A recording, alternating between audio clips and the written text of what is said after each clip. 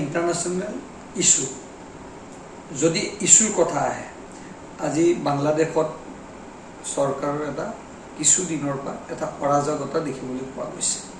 বিশেষকৈ ষ্টুডেণ্টসকল বা বিভিন্ন দেশৰ ছাত্ৰ ছাত্ৰীসকলৰ বা কিছু অন্য দেশৰ কিছু নাগৰিকৰ সমস্যা হৈছে ৰিগাৰ্ডিং কোটা ইছ্যু এই সময়ত কিছু মানুহ তাৰ পৰা ওলাই আহিছে আহি ভাৰতবৰ্ষত আহিছে বা নিজৰ ঠাইলৈ গৈছে।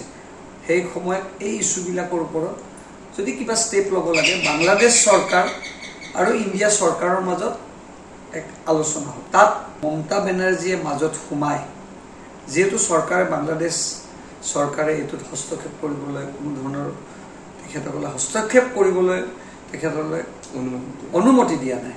তেনেস্থলত মমতা বেনাৰ্জীয়ে এই ফৰেইন ফৰেইনাৰসকলক সংস্থাপন দিয়া কথাটোলৈ তীব্ৰ প্ৰতিক্ৰিয়া হৈছে আৰু মই ভাবোঁ এখন এখন বাংলাদেশ এখন এখন দেশ আৰু ইণ্ডিয়াত এখন দেশ দুইখন দেশৰ মাজত আলোচনা ইয়াত ৰাজ্যই এনেকৈ কণ্ট্ৰাডিক্টৰী কৰাটো মই ভাবোঁ উচিত হোৱা নাই। যি সময়ত মমতা ৰাজ্যৰ চুবুৰীয়া ৰাজ্যৰ লগত বিশেষকৈ অসমক যি মাহীয়ে চকুৰে চালে আজি অত্যাৱশ্যকীয় সামগ্ৰী বিশেষকৈ আলু পিঁয়াজে হওক। আহিব দিয়া নাই। গাড়ীসমূহ। গাড়ীসমূহ জব্দ কৰি ৰাখিছে। সেই মানসিকতা যিজন নেতৃত্ব থাকিব পাৰে তেওঁ ইণ্টাৰনেশ্যনেলি ইমান দূৰদৰ্শিতা দেখুওৱাৰ এখন নাটক যেন অনুভৱ হৈছে। মই ভাবোঁ ভাৰত চৰকাৰ আৰু বাংলাদেশ চৰকাৰে এইটোৰ সিদ্ধান্ত ল'ব এখন ৰাজ্যই এইটো সিদ্ধান্ত ল'ব নোৱাৰে। এই মমতা বেনাৰ্জীৰ এনেকুৱা নাটকীয় টুইটাৰ যোগে ঘোষণা কৰাই এক মানুহৰ মাজত বিশেষকৈ বাংলাদেশ চৰকাৰ হওক আমাৰ মাজত এক প্ৰতিক্ৰিয়া হৈছে।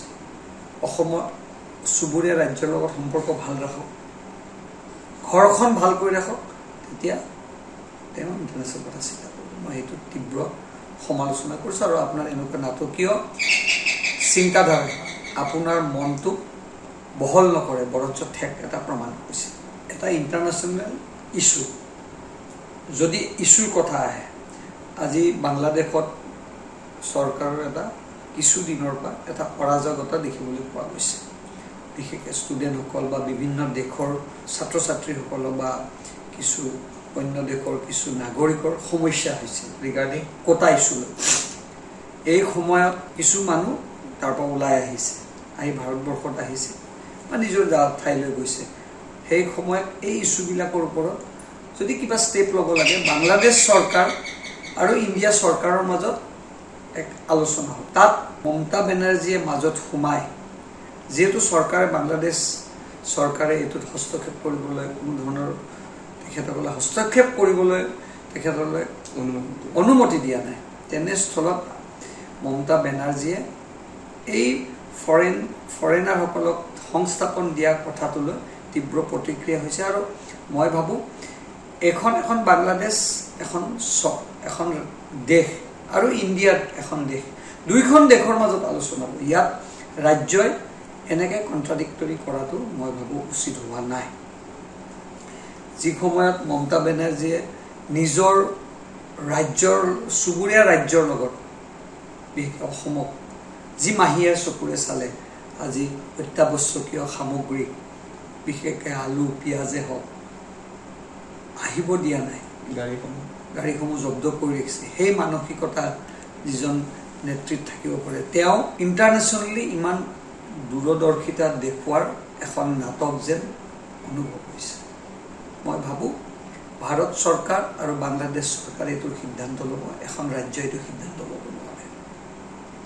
এই মমতা বেনাৰ্জীৰ এনেকুৱা নাটকীয় টুইটাৰ যোগে ঘোষণা কৰাই এক মানুহৰ মাজত বিশেষকৈ বাংলাদেশ চৰকাৰ হওক আমাৰ মাজত এক প্ৰতিক্ৰিয়া হৈছে।